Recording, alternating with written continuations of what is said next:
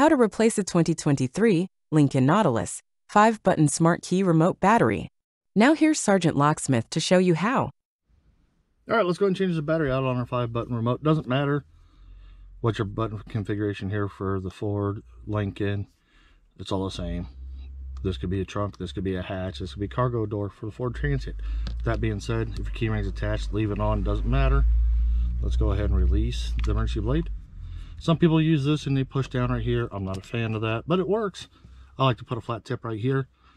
As you notice, twist, notice the cover pops up.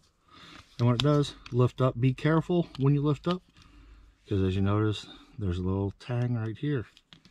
Now that that's out, this is your 2450 battery. Easy. Take your new one, put it in, push down. Sometimes it'll latch, sometimes it won't. These little tabs, doesn't matter.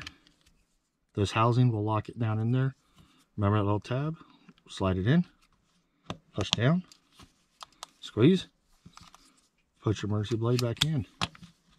And there you go, you've done it. Hey, thanks again for watching. Let's be safe out there.